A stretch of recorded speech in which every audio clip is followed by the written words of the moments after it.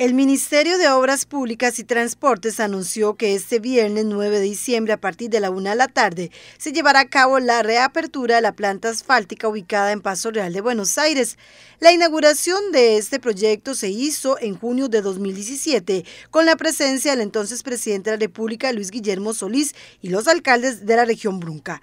El Ministerio de Obras Públicas y Transportes informó en aquel entonces que se invirtieron 745 millones de colones en la compra de esta planta que tiene una capacidad de producir 120 toneladas por hora. Sí, muy satisfecho. Ahora tenemos ya la planta, ahora hay que ponerle.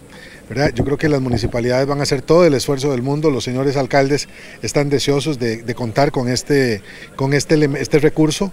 Y me parece que si logramos eh, poner la máquina, a la planta a funcionar eh, en, esa, en ese total de 600 toneladas por día y logramos que esto se convierta en caminos, pues el beneficio neto para toda la zona va a ser extraordinario. Lo importante es que ya salió y ahora hay que usarla y hay que usarla bien y hay que usarla bastante y creo que con el apoyo de los excelentes equipos de las seis municipalidades del sur vamos a lograr el, objetivo. Sin embargo, en junio de 2018, el exministro Rodolfo Méndez dio la orden de detener el trabajo en las plantas, al parecer por irregularidades con los permisos y también estudios.